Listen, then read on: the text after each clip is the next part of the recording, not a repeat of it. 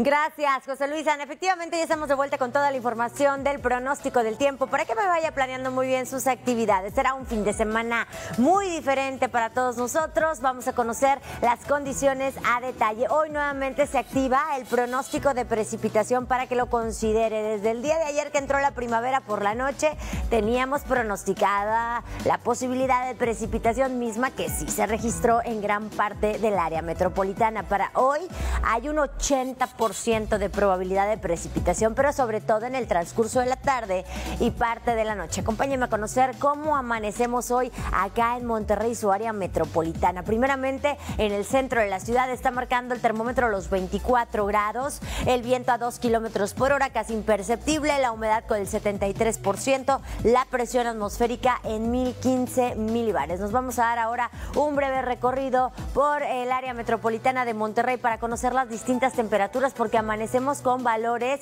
que van desde los 21 hasta alcanzar los 22 grados. Así es, tenemos temperaturas agradables en gran parte del área metropolitana y todo esto es gracias a que ya comienza, ya comienza a cambiar esta condición, ya entra la primavera justamente como le mencionábamos el día de ayer y esto provoca que tengamos amaneceres un poquito más agradables. Como le mencionaba, valores de 22 grados son los que están dominando en gran parte del área metropolitana. Nos vamos ahora a conocer las condiciones, qué es lo que nos espera para esta jornada. Ya lo mencionaba, el cielo medio nublado, la posibilidad de precipitación vigente, lluvia que viene acompañada de actividad eléctrica y se reporta por la tarde-noche con este 80%. A las 12 del día se espera que la temperatura marque los 28 grados, la máxima llega a solo 29 y por la noche el valor descenderá a los 23 grados Celsius. El pronóstico para los próximos cuatro días para que me planee sus actividades. Sábado y domingo tendremos condiciones de nubosidad, la posibilidad de precipitación vigente para el sábado un 50% de probabilidad, para el domingo un 20% y ya para lunes y martes por debajo del 10% el pronóstico de lluvia. Cabe mencionar que el sábado todavía esta lluvia viene acompañada de actividad eléctrica y por supuesto que tenemos este ligero descenso en la temperatura. Veremos mínimas de 17 y 16 para sábado y domingo y máximas de 21 y 24. Ya para lunes y martes suben las temperaturas mínimas de 18 y 20 y valores máximos de 28 y hasta 33 grados Celsius.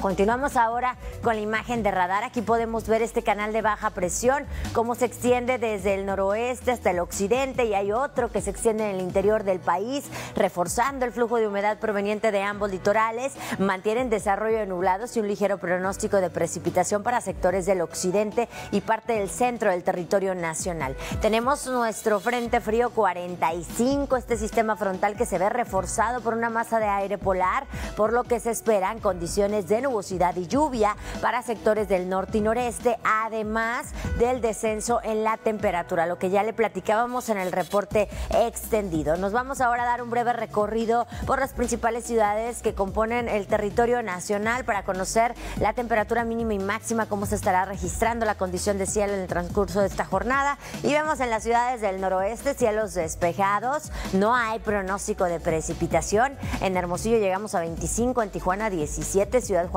con 20, Chihuahua con 26 y Mazatlán con 26 grados. Continuamos con el centro de la ciudad, parte del occidente, oriente y sur del país también. En la Ciudad de México y en Oaxaca específicamente estas dos ciudades mantienen posibilidad de precipitación para el día de hoy, lluvia que viene acompañada de actividad eléctrica. El resto de las ciudades que mencioné hay condiciones despejadas para esta jornada. Para la península de Yucatán, ambiente caluroso, máximas de 29 y hasta 36 grados Celsius y al noreste de la República Mexicana podemos ver condiciones de cielo nubladas y la posibilidad de precipitación para Torreón, Saltillo, Nuevo Laredo, Matamoros también. Y tendremos temperaturas máximas de 23 y 31.